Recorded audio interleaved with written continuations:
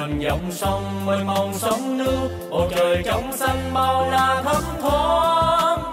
Nắng gió ban ngát say lòng người. Về phương nam, ngắm con sông dài, ngắm lục bình trôi. Nghe bìm bịp kêu nước rồng nước lớn. Về đây nghe tình anh ban chiều nghe thơ ông đồ, nghe họ sự sáng sẽ cống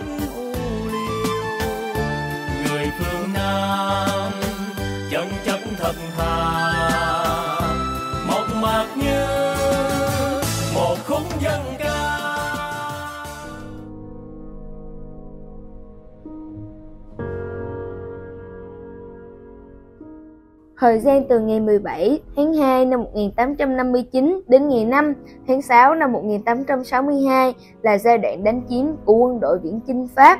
Nhiệm vụ chính là hoạt động quân sự đánh chiếm, đồng thời cũng kiêm nhiệm công việc quản lý hành chính khu vực đã chiếm đóng được theo chế độ quân quản, giữ gìn an ninh trật tự là chính. Ngày 17 tháng 1 năm 1862, toàn tỉnh Biên Hòa bị quân Pháp đánh chiếm. Chính quyền thuộc địa ban đầu vẫn giữ lại phân cấp hành chính cũ của tỉnh Biên Hòa.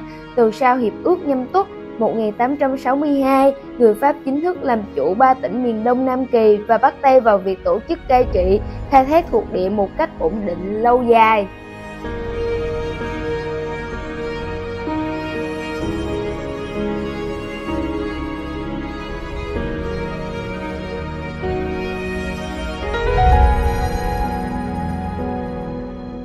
Năm 1865, thực dân Pháp chia toàn cõi Nam Kỳ thành 13 sở tham biện. Phủ Phước Tuy của nhà Nguyễn bấy giờ là sở tham biện Bà Rịa. Hạt Bà Rịa bao gồm phần đất huyện Phước An cũ. Năm 1876, thực dân Pháp chia tỉnh Biên Hòa thành 4 tỉnh, Phủ Phước Tuy cũ là tỉnh Bà Rịa mới. Ngày 20 tháng 12 năm 1899, toàn quyền Đông Dương ra nghị định đổi tất cả các đơn vị hành chính tương đương với tỉnh, trong đó có các tiểu khu hành chính ở Nam Kỳ thành tỉnh. Tên gọi tỉnh Bà Rịa xuất hiện từ đó, lúc này đất đỏ thuộc tỉnh Bà Rịa.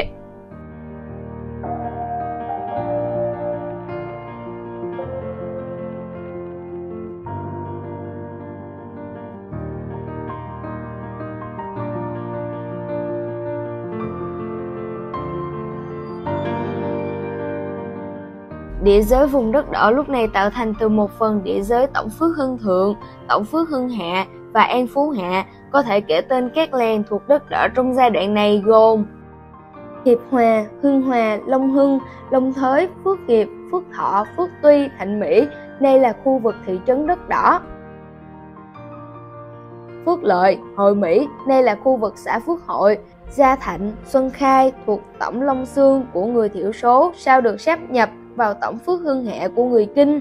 Đây là khu vực xã Phước Long Thọ và Láng Dài, Long Hiệp, Long Nhung đến ngày 6 tháng 11 năm 1933, chính quyền Pháp sáp nhập hai làng thành làng Long Tân. Đây là khu vực xã Long Tân, Long Mỹ, Lộc An và Phước Hải. Theo sách nghiên cứu địa bà trường Nguyễn, Biên Hòa của Nguyễn Đình Đầu đến năm 1863, trên địa giới hành chính đất đỏ có ba chợ lớn được thống kê và được các bản đồ do người Pháp vẽ có ghi nhận. Chợ Cây Sung, Phước Thổ tại khu vực thị trấn đất đỏ hiện nay, chợ Lưới Rê tại khu vực thị trấn Phước Hải hiện nay và chợ Lộc An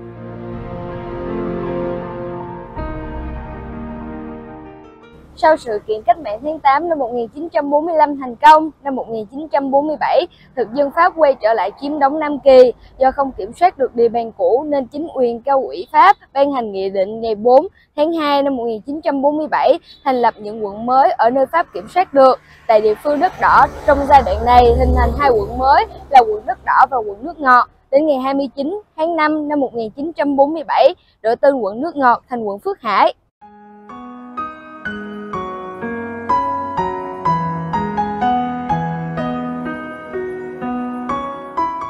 Với nhân dân ta, sau cách mạng tháng 8, chính quyền cách mạng được thành lập tại tỉnh Bà Rịa. Tháng 12 năm 1945, xứ ủy Nam Kỳ quyết định tỉnh Bà Rịa thuộc quân khu 7, lúc này quận đất đỏ thuộc tỉnh Bà Rịa. Trong kháng chiến chống Pháp, địa giới hành chính các xã có nhiều thay đổi. Năm 1948, Ủy ban kháng chiến hành chính tỉnh Bà Rịa quyết định điều chỉnh địa giới các xã cho phù hợp với yêu cầu kháng chiến.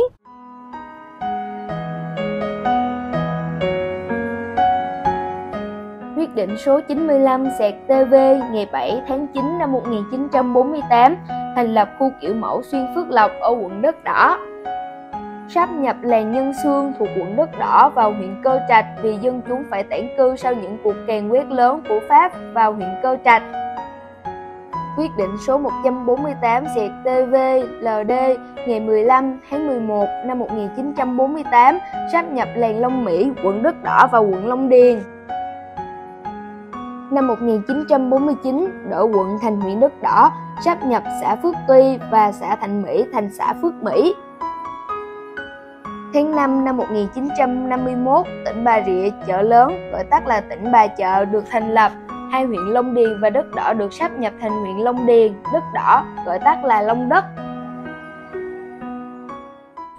Cuối năm 1954, sau khi chuyển quận tập kết, xứ ủy Nam Bộ đã thành lập tỉnh Bà Rịa, huyện Long Điền và Đất Đỏ được tách thành hai huyện độc lập. Đến tháng 4 năm 1960, hai huyện được xét nhập lại, mang tên huyện Long Đức thuộc tỉnh Bà Rịa. Tháng 1 năm 1976, thực hiện nghị quyết Trung ương lần thứ 24 và nghị quyết 12 Trung ương Cục miền Nam với chủ trương bỏ khu nhập tỉnh, tỉnh Đồng Nai được thành lập trên cơ sở sắp nhập 3 tỉnh Biên Hòa, Bà Rịa Long Khánh bao gồm cả thị xã Vũng Tàu và Tân Phú giai đoạn từ năm 1976 đến ngày 11 tháng 8 năm 1991, vùng đất đỏ thuộc huyện Long Đất, tỉnh Đồng Nai.